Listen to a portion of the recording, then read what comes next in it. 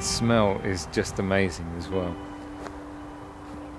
So it's spring and it's bluebell fever for photographers in the UK, and with good reason. I mean, look, they're they're beautiful. It's nice to spend a morning in a bluebell wood.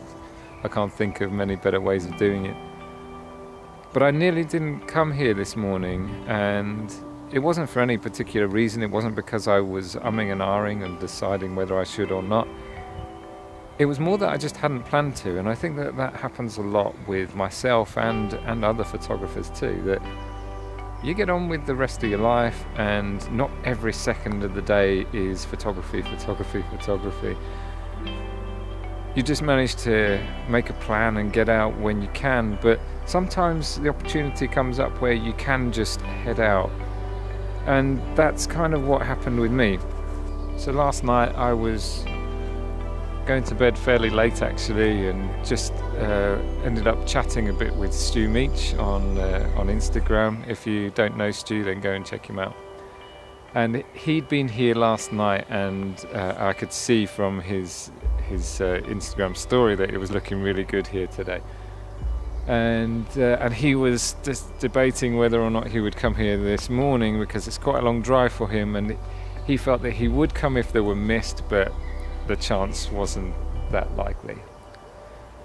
And then that made me think, well, what if there is going to be some mist? It would be brilliant to catch that. And so then, I, late last night, I set my alarm and decided that I would come here this morning. Stu didn't make it. Sorry, Stu. There was a bit of mist. Not a lot, but enough to enough to give a little bit of a sort of an eerie or that ethereal sense. Not sure I like that word. But either way, it's been so beautiful here this morning, and I was the only one in this wood. And if you know this place at all, it's Badbury Clump in Oxfordshire. You'll know that in bluebell season, pretty much every sunrise is filled with photographers but there was nobody else here, and I got to enjoy it all to myself. And it kind of got me thinking, anyway, that we don't always get those opportunities, those last minute moments where we can just run out and head out somewhere beautiful. And I'm lucky that I have this place really close by to where I live. But it's more so just taking those opportunities when you hadn't really even considered it. Think of all those times that you've had the best time of your life when you didn't expect to.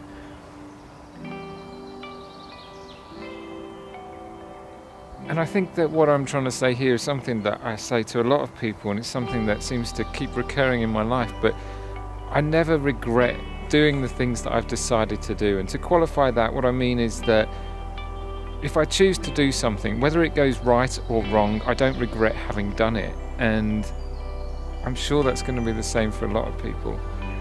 Last night I could have said, Well, I'm really tired, I've been working hard this week, I'm not going to get up for the sunrise. But I'm so glad I did. I know that that's often touted in YouTube videos and other places of inspiration, but I'm sure you wouldn't regret it too.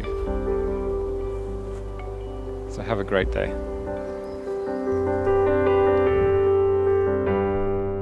It was, of course, a beautiful morning, and the slight mist really did help create a bit of separation in the trees. And I captured a couple of images that I'm happy to share with you here. But my favourite image from this woodland wasn't one of these, it was actually one I captured a week earlier with even less mist and even less bluebells. But what I really like about it is the contrast and just how it's captured the feeling that I had of being there on the morning. It was really beautiful. And this image is available as a print on my website. I'll include a link down below.